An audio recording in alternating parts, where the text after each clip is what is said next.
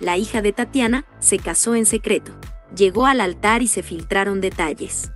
Tatiana, la reina de los niños, se ha encargado de llevar su vida privada lejos del ojo público.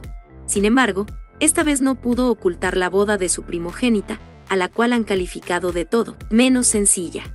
El periodista mexicano Emilio Morales reveló en el programa de televisión La esquina de las primicias de Banda Max que la hija de Tatiana se casó en una ceremonia privada el pasado sábado, 9 de diciembre, en la capital de Nuevo León.